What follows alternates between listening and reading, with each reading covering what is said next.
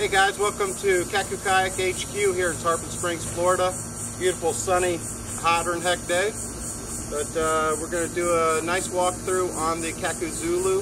Uh, now we're looking at the Zulu as it will be for a base model, minus of course the attachments I've got here, the rod holders and the dual power poles. Uh, so it will come like this as the hull with the chair and um, set up ready to go for paddling. I've spent the last couple weeks fishing off of this, uh, paddling and running a Torqeedo motor. And then once I finish the hand-controlled rudder, we've done some testing with uh, fishing it with the pedal, so it works for all of them. Uh, the cool thing about this kayak is, is it, it paddles good. I will not design anything that doesn't paddle good, so that was the first thing that I needed to figure out to make sure it paddles good, and then does all the other things uh, really well as, as well. So um, tested it out really good. Paddle's great if you're looking for just a kayak that's uh, very good and very functional uh, for paddling. It, it's all in there for you. Um, when it comes for paddling, it'll just have a, it's got the opening here that would be for the pedal drives, but it'll be covered with starboard here that still gives you plenty of options for mounting stuff. You can mount the starboard really well, and for you guys that like using your fish finders and need a spot for your transducer, you can just bolt your transducer in at the bottom of the starboard, and it'll still be in a nice little safe area so it won't get hit by rocks or logs or oysters, whatever you're going over.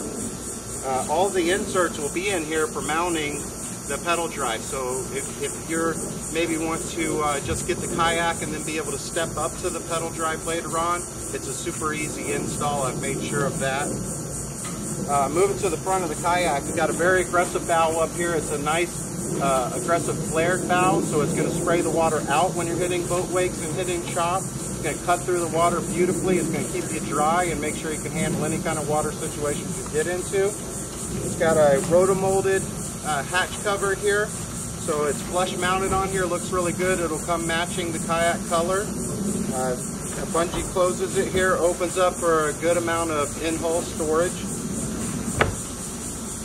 You got 18 inches of track up front, lots of camera mounting, rod holders, whatever you want to put in here, you got lots of room for that. You move back to the middle, you got 30 inches of track along here, that's for the uh, seat mount.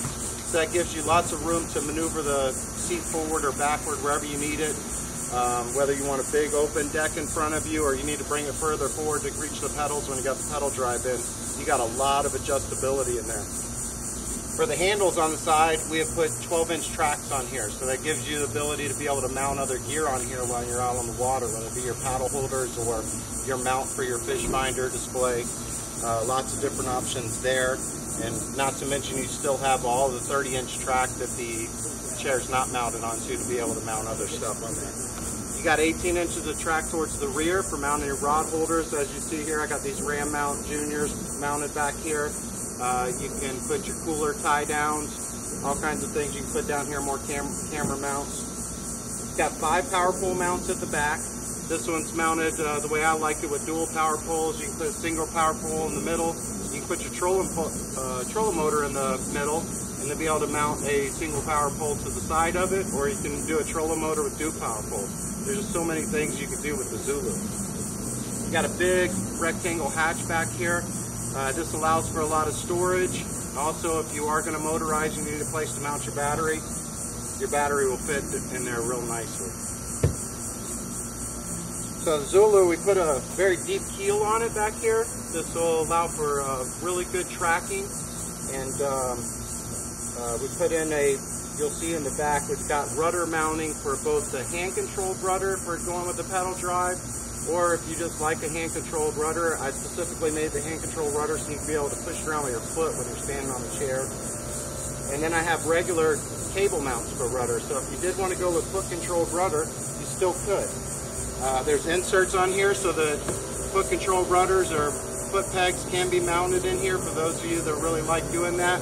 You are sitting pretty high on the chair up here so you're almost flat footed on the deck so there's not too much need for uh, foot braces unless you're going to do a rudder control.